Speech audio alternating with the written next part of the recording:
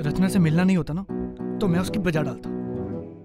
Purse तो देना ही पड़ेगा। दे के आता हूँ। रानी!